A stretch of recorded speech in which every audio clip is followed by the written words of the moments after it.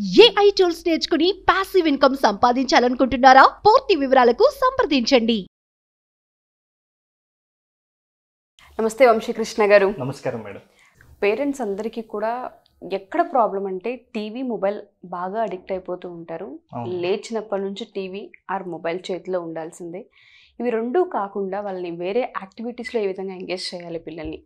And కొన్ని సందర్భాల్లో మేము లేకపోయినా సరే ఈ రెండు ఆప్షన్స్ని చూస్ చేసుకోవద్దు. ఇంకా దేన్నైనా వాళ్ళు చూస్ చేసుకునేలా ఉండాలి. అలా టిప్ ఏమన్నా ఇవ్వగలరని అడిగే వాళ్ళు ఉన్నారు. వాళ్ళకి మనం ఏం చెప్పొచ్చు? అవును మేడం. యాక్చువల్గా ఈ మొబైల్ ఎక్కువ వాడకం అనేది కరోనా తర్వాత నుంచి ఎక్కువ వాడుతున్నారు. అవును. కాబట్టి ఈ అడిక్షన్ని నేను ఒక చిన్న విషయం చెప్తాను మేడం. ఇప్పుడు ఫర్ ఎగ్జాంపుల్ చాలామంది పిల్లలకి రీజన్ చెప్పకుండా వాడకూడదు అని చెప్తే వాళ్ళు ఖచ్చితంగా దాన్ని వాడతారు. ఇప్పుడు ఫర్ ఎగ్జాంపుల్ నేను అక్కడ చూపించి మేడం ఒక వన్ మినిట్ మీరు అటు రైట్ సైడ్ చూడకూడదు అని చెప్పాను అనుకోండి. నా వల్ల కాదు. అక్కడ చూసేస్తాము. చూసేస్తారు. ఏముందో అని చూసేస్తారు. కానీ ఎందుకు చూడకూడదు రీజన్ చెప్పండి. అంటే ఇప్పుడు అక్కడ చూడకూడదు అక్కడ లైటింగ్ ఎక్కువ ఉంది మన ఐస్ చెడిపోతాయి అని ఒక రీజన్ నేను చెప్తాను అనుకోండి Mm. అప్పుడు దాన్ని చూడకుండా కంట్రోల్ చేసుకోగలుగుతారు. చాలా మంది ఏం చేస్తున్నారంటే మొబైల్ వాడకూడదు అని చెప్తున్నారు కానీ ఎందుకు వాడకూడదో చెప్పట్లేదు. వాళ్ళకి దగ్గర కూర్చోబెట్టి చెప్పాలి. ఈ మొబైల్ యాప్స్ ఎలా డిజైన్ చేయబడి ఉంటాయంటే మనం అక్కడ టైం గడపడం కోసం కొంతమంది కొన్ని లక్షలు పెడుతున్నారు. అంటే మన టైంని అక్కడ తీసుకుంటున్నారు. యాక్చువల్గా ఇండియాలో ఉన్నటువంటి యూత్ కానీ ప్రతి ఒక్కరు కూడా వాళ్ళ మీద వాళ్ళు టైం ఇన్వెస్ట్ చేసుకుంటే ఆటోమేటిక్గా ఇండియా నెంబర్ వన్ కంట్రీ అయ్యేది. కానీ మన యాప్స్ ఎలా డిజైన్ చేయబడి ఉంటాయంటే చాలా మంది యూత్ ఎక్కడ టైం స్పెండ్ చేస్తున్నారంటే మొబైల్ ఆ యాప్లలోనే సమయాన్ని గడిపేస్తున్నారు గేమ్స్ కావచ్చు యూట్యూబ్ కావచ్చు గేమ్స్ కావచ్చు రకరకాలుగా. అవును. సో అలా చేస్తున్నారు. మన బ్రెయిన్లో ఎలా ఉంటుందంటే ఒక ఆ యాప్స్ చూసేటప్పుడు లేకుంటే ఆ గేమ్ ఆడేటప్పుడు మన బ్రెయిన్లో డోపమైన్ అనే హార్మోన్ రిలీజ్ అవుతుంది. అది ప్రతిసారి అదే పని చేయాలి అని మనం ఎంకరేజ్ చేస్తుంటుంది. లోపల. అందుకని మీ టైంని ఇలా కిల్ చేస్తున్నాయి. కాబట్టి వీటికి దూరంగా ఉండండి అని చెప్తే అప్పుడు ఓహో అని వాళ్ళు రియలైజ్ అవుతారు. అప్పుడు వాళ్ళు అంతో కొంత ఇప్పుడు ఫర్ ఎగ్జాంపుల్ మొత్తానికి అయితే మానరు. ఎంతో కొంత వాళ్ళు మానిపించే ప్రయత్నం అయితే స్టార్ట్ అవుతుంది. సో ఇప్పుడు పాయింట్కి వద్దాం మేడం. అంటే మీరు అడిగిన క్వశ్చన్ అంటే సమ్మర్లో పిల్లల్ని ఎలా ఎంగేజ్ చేయాలి. ఫస్ట్ వచ్చేసి పిల్లల్ని మార్నింగ్ వాకింగ్కి తీసుకెళ్ళాలి. ఎందుకంటే ప్రతిరోజు స్కూల్ టైంలో మార్నింగ్ సెవెన్ సెవెన్ థర్టీ అంటే ఆ హడావుడిలో పిల్లలు బయటికి వెళ్ళరు వాకింగ్కి అటు ఇటు వెళ్ళరు. కాబట్టి పేరెంట్స్ దగ్గర ఉండి మార్నింగ్ వాక్ తీసుకెళ్ళాలి. ఇలా తీసుకెళ్ళడం వల్ల అంటే ఓన్లీ ఆ వాకింగ్ పర్పస్ కాకుండా పేరెంట్స్ మిగతా వాళ్ళతో మాట్లాడుతున్నప్పుడు ఎలా కమ్యూనికేట్ చేస్తున్నారు? మిగతా వాళ్ళని ఎలా విష్ చేయాలి? గుడ్ మార్నింగ్ గుడ్ ఆఫ్టర్నూన్ ఎలా చెప్పాలి? వాళ్ళు మన మాటలకి ఎలా రెస్పాండ్ అవుతారు మనం వాళ్ళతో ఎలా మర్యాదగా మాట్లాడాలి అనేది పేరెంట్ నుంచి పిల్లలు నేర్చుకుంటారు. కాబట్టి మీరు మార్నింగ్ వాక్కి వెళ్ళేటప్పుడు ఆ నేచర్ని ఎలా ఎంజాయ్ చేయాలి మిగతా వాళ్ళతో ఎలా మాట్లాడాలి ఇలా చేయడం వల్ల హెల్త్కి ఎలాంటి బెనిఫిట్స్ ఉన్నాయనే విషయాన్ని పేరెంట్స్ పిల్లలతోటి చెప్తుంటారు. కమ్యూనికేట్ చేయాలి. ఇంకోటి ఏంటంటే మీరు అన్నట్టుగానే ఆ మార్నింగ్ వాక్లో తెలియకుండా పేరెంట్స్ కానీ పిల్లలకి మధ్య కనెక్షన్ ఉంటూ ఉంటుంది. అండ్ మాతోనే ఉన్నారు అన్న తెలియకుండానే ఆ లవ్ ఆ కేర్ కూడా కనిపిస్తూ ఉంటుంది. కమ్యూనికేషన్ బాగా డెవలప్ అవుతూ ఉంటుంది. ఉమ్. అండ్ దాంతోపాటు హెల్త్కి సంబంధించి కావచ్చు చాలా విషయాలు నేర్చుకునే అవకాశం ఒక మార్నింగ్ వాక్లోనే ఉంటుంది. ప్రతి. పేరెంట్స్ కూడా పిల్లల్ని అక్కడ పట్టుకోగలిగితే హీరోస్ అవుతారు పిల్లలు నెక్స్ట్ వచ్చేసి ఒకవేళ మార్నింగ్ వాక్ తీసుకెళ్ళొచ్చు Hmm. లేదంటే పార్కుకైనా తీసుకెళ్ళొచ్చు. పార్కుకి వెళ్ళి తీసుకెళ్తే అక్కడ వాళ్ళకి ఆ పర్యావరణం అనేది అర్థమైపోతుంది. ఎగ్జాక్ట్లీ అంటే ఒక మైండ్ఫుల్నెస్ వస్తుంది పిల్లలకి. దాని త్రూ లో ఉండగలుగుతారు. First madam. ఎంజాయ్ చేయగలుగుతారు ఎంజాయ్. చేయగలుగుతారు. నేచురల్ సెకండ్ పాయింట్ వచ్చేసి పిల్లలకి ఆర్ట్ అండ్ క్రాఫ్ట్ అంటే చాలా ఇంట్రెస్ట్ ఉంటుంది. Mm. అంటే కత్తెరతోటి ఆ పేపర్స్ని కట్ చేయడము లేదనుకుంటే ఆ బాటిల్స్ని కట్ చేసి ఇంకా కొత్తగా ఏమైనా డిజైన్గా తయారు. చేయడము ఇట్లాంటివంటే పిల్లలకి చాలా ఇంట్రెస్ట్ ఉంటుంది. అంటే వాళ్ళు అక్కడ గడిపే సమయాన్ని కూడా వాళ్ళు పట్టించుకోకుండా అలాగే ఆ. సమయం వెళ్ళిపోతుంటుంది దాంతో ఏమైతుందంటే పిల్లలకి క్రియేటివిటీ డెవలప్ అవుతుంది. మహా అంటే అక్కడ కత్తెర కొన్ని గమ్ లేకుంటే ఒక చిన్న చిన్న ఐటమ్స్ మనం అక్కడ అవసరం పడుతుంది. వాటిని పిల్లలకి ఇప్పిస్తే ఆ డే మొత్తం కూడా వాళ్ళు ఆర్ట్ అండ్ క్రాఫ్ట్లో చాలా బిజీగా ఉంటారు అండ్ ఇంకోటి ఏంటంటే తల్లులు అందరికీ చెప్పాల్సిన విషయం పిల్లలు కత్తెర పట్టుకున్నా ఏదైనా బాటిల్స్ తీసినా ఇల్లు గలీజ్ అయిపోతుంది అని ఆపేసే ప్రయత్నం చేస్తూ ఉంటాం అలా చేయకుండా కొంచెం వాళ్ళకు ఒక ఫ్రీడమ్ని ఇచ్చి వాళ్ళకు ఒక రూమ్ని ఇవ్వగలిగితే నిజంగానే చాలా బాగా టైంని స్పెండ్ చేయగలుగుతూ ఉంటుంటారు. పేరెంట్స్ ఎస్పెషల్లీ ఇల్లు పాడైపోతుందన్న ఒక ఉద్దేశాన్ని పక్కన పెడితే ఈ ఆర్ట్ అండ్ క్రాఫ్ట్స్లో పిల్లలు చాలా రకాలుగా రాణించగలుగుతారు. చాలా క్రియేటివిటీ డెవలప్ అవుతుంది. అవును. నెక్స్ట్ వచ్చేసి వాళ్ళకి ఆ పేపర్స్ని బైండింగ్ ఎలా చేయాలి ఆ ఫైల్ ఎలా రెడీ చేయాలి ఇట్లాంటివి చిన్న చిన్నవి మనకు యూట్యూబ్లో గూగుల్లో చాలా దొరుకుతాయి. అలాంటివి ప్రాక్టీస్ చేపిస్తుంటే పిల్లలకి సొంతంగా అంటే కొనాల్సిన పని లేకుండా మనం కూడా ఇలాంటి పనులు చేసుకోవచ్చు అనేటువంటి ఆ క్రియేటివిటీ డెవలప్ అవుతుంది. అవును madam. Next third point madam painting. Painting అంటే ఇష్టపడని పిల్లలు అసలే ఉండరు. అంటే కొంతమందికి పెన్సిల్ ఆర్ట్ ఇష్టం కొంతమందికి క్రేయాన్స్ ఇష్టము ఇష్టం. కొంతమందికి వాటర్ పెయింట్స్ అంటే చాలా ఇష్టం. సో ఏదైనా ఉండని ఆ పెయింటింగ్ సంబంధించి కూడా చాలా స్టేషనరీస్లో కంప్లీట్గా బుక్స్ దొరుకుతాయి మేడం. సో వాటిని తీసుకుని వచ్చి పిల్లలకి ఈ డిఫరెంట్ కలర్స్ అంటే క్రేయాన్స్ ఉండొచ్చు ఆయిల్ పెయింట్స్ వాటర్ పెయింట్స్ ఇలా చాలా దొరుకుతాయి. వాటిని ఇప్పిస్తే పిల్లలకి ఆ హ్యాండ్ మూమెంట్ అనేది చాలా ఫ్రీ అయిపోతుంది అనమాట. అంటే ఆ అందులో కూడా చాలా క్రియేటివ్గా ఉంటుంది. అంటే దాంట్లో ఏ డిజైన్ మనకి వేస్తే ఎంత ఆకర్షణీయంగా తయారు చేస్తున్నాం అనేది కూడా పిల్లల లోపల ఆ పెయింటింగ్ స్కిల్స్ అనేది డెవలప్ అవుతుంది. అవును. మీరు అన్నట్టుగానే పెయింటింగ్స్ చాలా మంది పిల్లల్ని అట్రాక్ట్ చేస్తూ ఉంటాయి. కలర్స్ తెలియకుండానే వాటి వైపు వెళ్ళిపోతూ ఉంటారు. ఎక్కువ ఇంట్రెస్ట్ చూపిస్తూ ఉంటారు. ఆ క్రేయాన్స్ కావచ్చు లేదంటే ఆయిల్ కలర్స్ కావచ్చు. చాలా మందికి అవి ఇష్టపడుతూ ఉంటారు. ఆయిల్ పెయింట్స్ ఏవైతే ఉంటుంటాయో. బట్ పేరెంట్స్ వీటిని కొంచెం మీరు అన్నట్టుగా ప్రతి పాయింట్ని కూడా చాలా క్లీన్గా అబ్జర్వ్ చేసి కనుక వాళ్ళ ఫ్రీడమ్ వదిలేయగలిగితే ఈ మొబైల్ ఈ టీవీ అండ్ దాంతోపాటు ఇంకా ఏదైనా సరే అడిక్షన్స్ ఉంటే వాటి వైపు ఫస్ట్ మనసు వెళ్ళదు. వీటిపైన చేయి తిరుగుతూ ఉంటుంది. వాళ్ళకి అర్థమవుతూ ఉంటుంది. అండ్ కలర్స్ పైన కావచ్చు పిక్చర్స్ పైన కావచ్చు నాలెడ్జ్ కూడా పెరుగుతూ ఉంటుంది. దాంతోపాటు ముఖ్యంగా ఫోర్త్ పాయింట్ వచ్చేసి. పిల్లలతోటి ఫజిల్స్ చేయించుండాలి మేడం. చిన్న చిన్న. ఫజిల్స్ లేకుంటే numbers ని కలపడం లాంటివి లేకుంటే మనకు మామూలుగా సండే బుక్లో సుడోకు అని వస్తుంటుంది. వాటిని ప్రాక్టీస్ చేయించాలి దీంతో ఏమవుతుందంటే పిల్లలకి ఏదైనా ప్రాబ్లం వస్తే ఎలా సాల్వ్ చేయాలి అనే. విషయాలు తెలుస్తుంటాయి. సో ప్రాబ్లమ్ సాల్వింగ్ స్కిల్ అనేది ప్రతి ఒక్కరు కూడా అవసరం కాబట్టి ఇలాంటి స్కిల్స్ ఇలాంటి ఫజిల్స్ నేర్పిస్తుంటే పిల్లలకు సొంతంగా డెవలప్ అయిపోతుంది. ఇంకా ముఖ్యంగా పేరెంట్స్ సేమ్ అలాంటి చేసే టైంలోనే ఏదైనా కొన్ని కాంప్లికేటెడ్గా ఇప్పుడు ఫర్ Hmm. ఎగ్జాంపుల్ ఒక సన్నివేశానికి సంబంధించి ఒకవేళ ఈ ప్లేస్లో నువ్వు ఉంటే ఏం చేస్తావు ఉమ్, ఉమ్. ఈ చేసి ఒక స్టోరీని మొత్తానికి వాళ్ళకి చెప్పేసి ఒకవేళ ఈ ప్లేస్లో నువ్వు ఉంటే ఎలా చేస్తావు నాన్న అన్నప్పుడు వీళ్ళు కొత్తగా ఆలోచించడం స్టార్ట్ ఎగ్జాక్ట్లీ ఈ టైంలో కూడా క్రియేటివిటీ బిల్డ్ అవుతుంది పిల్లల Hmm. లోపల ఓకే అండ్ మీరు అన్నట్టుగానే స్టోరీ నరేషన్ అనేది చాలా ఇంపార్టెంట్. Hmm. పేరెంట్స్ వీటిని కనుక నరేట్ చేసి సిచ్యుయేషన్ని ఈ ప్లేస్లో నువ్వు ఉంటే ఎలా హ్యాండిల్ చేస్తావు? ఇటువంటివి కూడా చాలా ఇంట్రెస్టింగ్గా ఉంటాయి.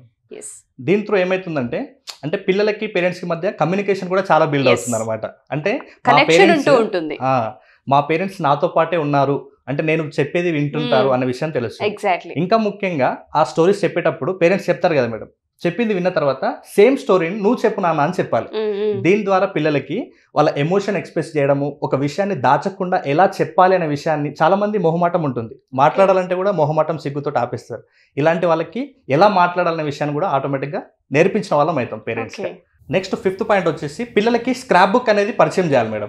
అంటే ఒక రెండు స్క్రాప్ బుక్స్ పెట్టేసి న్యూస్ పేపర్లలో డిఫరెంట్ డిఫరెంట్ స్టోరీస్ వస్తుంటాయి. మోరల్. స్టోరీస్ వస్తుంటాయి. ఆ మోరల్ స్టోరీస్ని వీళ్ళు చదివి వీళ్ళకి నచ్చినటువంటి ఆ స్టోరీ ఏదైతే ఉంటుందో దాన్ని కట్ చేసి ఆ న్యూస్ పేపర్లో మనకు నచ్చిన స్టోరీ ఉంటుంది కదా దాన్ని కట్ చేసి ఆ కట్ చేసిన స్టోరీని ఇంకొక వాళ్ళు కంప్లీట్ ఒక స్క్రాప్ బుక్ అని పెడతారు. అంటే అవును. అన్కంప్లీట్గా వైట్ పేపర్స్ ఉన్నటువంటి ఒక బుక్. ఆ బుక్లో ఈ స్టోరీని అతికించాలి.